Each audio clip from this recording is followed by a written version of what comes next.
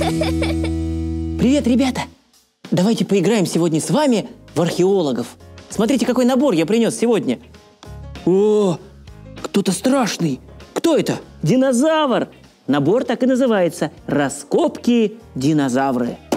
Я так понимаю, что нам с вами придется сегодня откопать скелет динозавра. Правда, он а, находится внутри по частям, а мы как раз и соберем его вместе. Ну, открываем коробку. Итак, вот что внутри. О, это набор настоящего археолога. Давайте-ка посмотрим повнимательней, что здесь находится. Ага, это у нас скребок, это щеточка, а это молоток. Ну, а это, конечно же, гипсовый слепок, где и находится скелет динозавра. Смотрите-ка, здесь даже что-то написано по-английски. Dig it out. По-моему, это переводится как «выкопай это». Ну давайте уже скорее вытащим этот наш гипсовый слепок и разобьем его. Так, посмотрим. Наш гипсовый брикетик запакован вот в такую слюду. Думаю, ее легко снять с помощью ножниц. Вот здесь какое-то отверстие. Просовываем ножницы внутрь.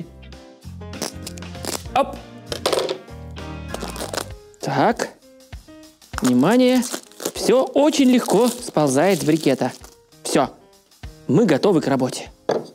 Ммм, молоточек кажется, что пластмассовый и легкий, а на самом деле очень тяжелый. Там, по-моему, внутри что-то металлическое. Ну, приступаем уже.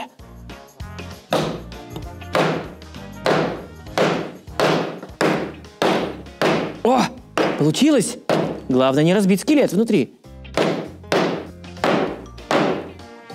О, по-моему, я вижу скелет. Теперь пора перейти к более тонкой работе. Убираем молоток, добавляем скребок и щеточку. Ого! Вижу здесь полный скелет и еще много частей скелета. Вот они. Лапа и позвоночник.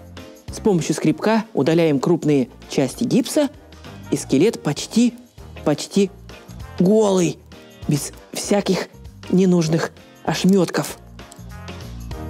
Крупные части гипса мы убрали со скелета, теперь дело за щеточкой. Микроработа. Итак, еще чуть-чуть, чуть-чуть, и скелет очистится от этой ненужной пыли. Мы его уже очень хорошо видим. При желании его можно помыть. Простой водой. Так написано на коробке. Вот он какой интересный скелет. И, насколько я помню, называется этот вид динозавра трицератопс. Но это еще не все. Ребята, я вижу здесь много других фрагментов еще более огромных размеров скелета. Продолжаем искать. О, я что-то вижу. Еще один фрагмент. По-моему, это череп. О, это точно череп, только две его половинки. Как интересно. Так, ребята, здесь я вижу отдельно хвост, но этот кусочек можно разбить молотком. Правда, повредить хвост. Поэтому работаем скребочком.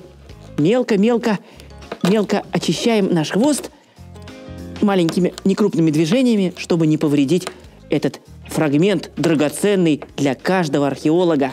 Итак, мы почти его освободили. Еще одно движение, и он свободен. Смотрите. Ну все, ребята, по-моему, все 10 фрагментов мы нашли. Давайте посчитаем еще раз. Раз, два, три, четыре, пять, шесть, семь, восемь, девять и десять. Все верно. Осталась самая тонкая работа. С помощью кисточки очищаем все наши фрагменты и собираем их в один большой. Я думаю, это будет несложно. Главное включить голову. Вот, кстати, и она. Голова. Голова динозавра. Я собрал ее из трех фрагментов. Даже челюсть двигается, смотрите. Вот у нас уже и туловище готово. Осталось присоединить заднюю лапу. Раз и переднюю. Два. И последнее, самое важное. Соединяем туловище с головой. Раз, два, три. Хо-хо-хо! Вот, посмотрите, я думаю, что этого маленького динозавра положили в гипс для того, чтобы он помог нам собирать вот этого большого из разных фрагментов. Ну вот. А теперь осталось самое интересное – собрать весь мусор. Пока. А тебе понравилось? Нажимай на экран и смотри дальше.